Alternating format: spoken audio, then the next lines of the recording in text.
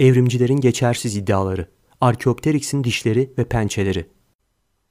Evrimcilerin Archaeopteryx'i ara geçiş formu olarak gösterirken dayandıkları en önemli iki nokta ise bu hayvanın kanatlarının üzerindeki pençeleri ve ağzındaki dişlerdir. Archaeopteryx'in kanatlarında pençeleri ve ağzında dişleri olduğu doğrudur. Ancak bu özellikleri canlının sürüngenlerle herhangi bir şekilde bir ilgisi olduğunu göstermez. Zira günümüzde yaşayan iki tür kuşta Torako ve Hoatsin'de de dallara tutunmaya yarayan pençeler bulunmaktadır. Ve bu canlılar hiçbir sürüngen özelliği taşımayan tam birer kuşturlar. Dolayısıyla Archaeopteryx'in kanatlarında pençeleri olduğu ve bu sebeple de bir ara form olduğu yolundaki iddia geçersizdir. Archaeopteryx'in ağzındaki dişleri de yine canlıyı bir ara form kılmaz. Evrimciler bu dişlerin bir sürüngen özelliği gösterdiğini söyleyerek kasıtlı bir aldatmaca yapmaktadırlar. Oysa dişler sürüngenlerin tipik bir özelliği değildir. Günümüzde bazı sürüngenlerin dişleri varken bazılarının yoktur. Daha da önemli olan nokta dişli kuşların Archaeopteryx'te sınırlı olmamasıdır.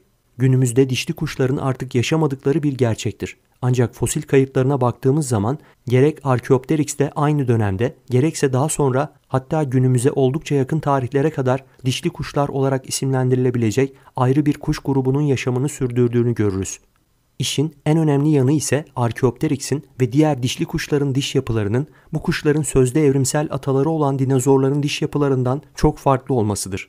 Martin, Stewart ve Whetstone gibi ünlü kuş bilimcilerin yaptığı ölçümlere göre Archaeopteryx'in ve diğer dişli kuşların dişlerinin üstü düzdür ve geniş kökleri vardır. Oysa bu kuşların atası olduğu iddia edilen terapod dinozorlarının dişlerinin üstü testere gibi çıkıntılıdır ve kökleri de dardır. Aynı araştırmacılar aynı zamanda Archaeopteryx ile onun sözde ataları olan dinozorların bilek kemiklerini karşılaştırmışlar ve arada hiçbir benzerlik olmadığını ortaya koymuşlardır.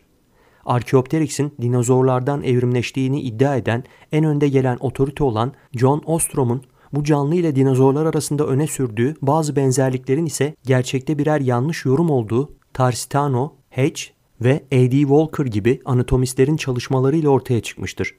Tüm bunlar Archaeopteryx'in bir ara geçiş formu olmadığını, sadece dişli kuşlar olarak isimlendirilebilecek ayrı bir sınıflandırmaya ait olduğunu gösterir.